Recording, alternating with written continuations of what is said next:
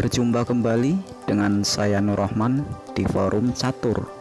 Pada kesempatan kali ini, saya akan menyajikan sebuah partai yang biasa disebut miniatur, yaitu sebuah partai yang berakhir dengan kalah menang hanya dengan 21 langkah atau kurang.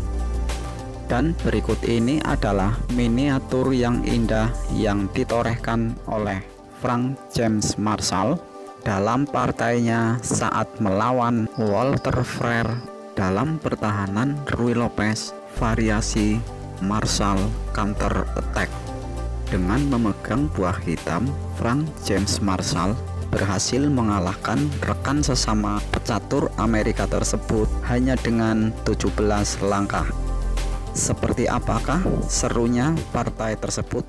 Mari kita saksikan bersama. Walker Frere memulai permainan dengan pion E4 dan Marshall mengawali balasan dengan E5. Dan setelah langkah kuda F3, Marshall membalas dengan kuda C6.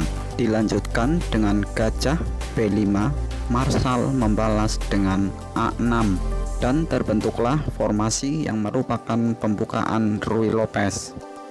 Putih melanjutkan dengan gajah A4. Marshall melanjutkan dengan kuda F6. Rokade gajah E7. Benteng E1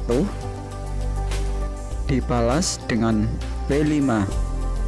Gajah B3 rokade.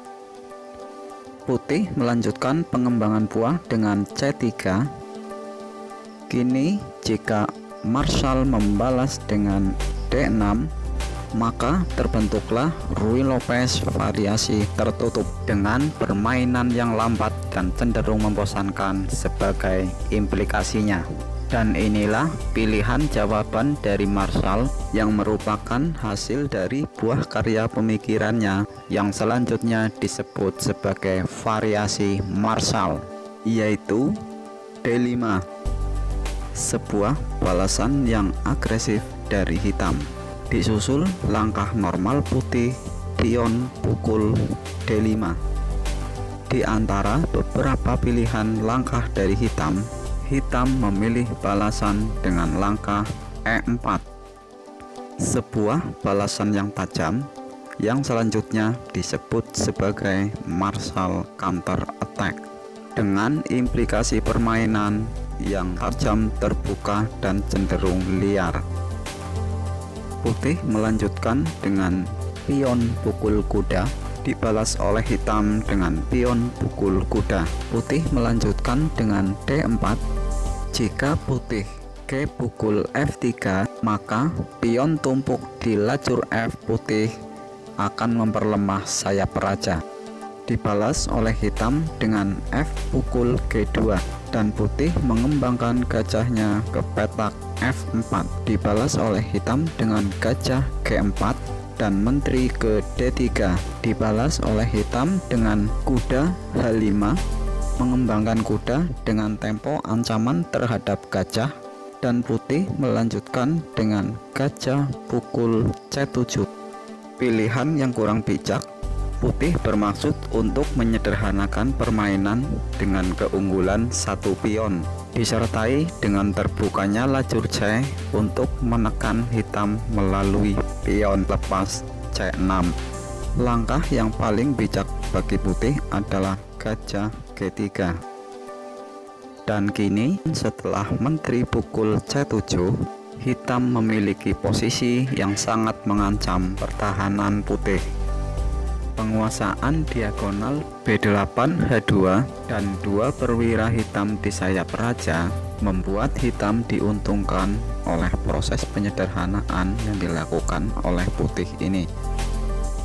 Putih melanjutkan dengan langkah Menteri E4 dan hitam dihadapkan pada pilihan menyerahkan gajah petak gelapnya atau petak terangnya. Dan sesuai rencana Marshall memberikan gajah hitamnya untuk ditukarkan dengan melangkah kuda F4 sehingga putih memukul gajah E7 hitam membalas dengan menteri pukul menteri dan putih melanjutkan dengan benteng pukul menteri. Dari hasil pertukaran beberapa perwira ini putih unggul satu pion tetapi memiliki kuda dan benteng yang sama sekali belum berkembang. Dan sebagai konsekuensinya Baris pertama dari putih tidak ada pengawalan dari benteng. Dan kondisi itulah yang dimanfaatkan oleh hitam dengan melangkah gajah F3 ancaman sekak mat satu langkah ke depan oleh hitam dengan kuda H3 sekak mat dan sampai di sini akhirnya putih pun menyerah.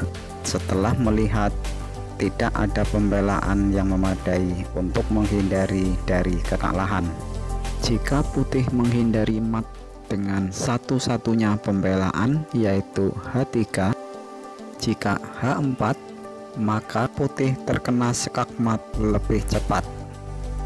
Dibalas oleh hitam dengan kuda pukul H3 sekak maka raja ke H2 kemudian disusul dengan G1 skak karena pion berpromosi menjadi menteri dan raja pukul kuda disusul kemudian dengan menteri G2 skak dan raja ke H4 maka langkah G5 atau menteri G4 mengakhiri perjalanan Raja Putih demikianlah ulasan partai dari Frank James Marshall melawan Walter Frere dengan Rui Lopez variasi Marshall counter attack-nya. Sampai jumpa dalam edisi selanjutnya. Jangan lupa like, share, dan subscribe. Terima kasih.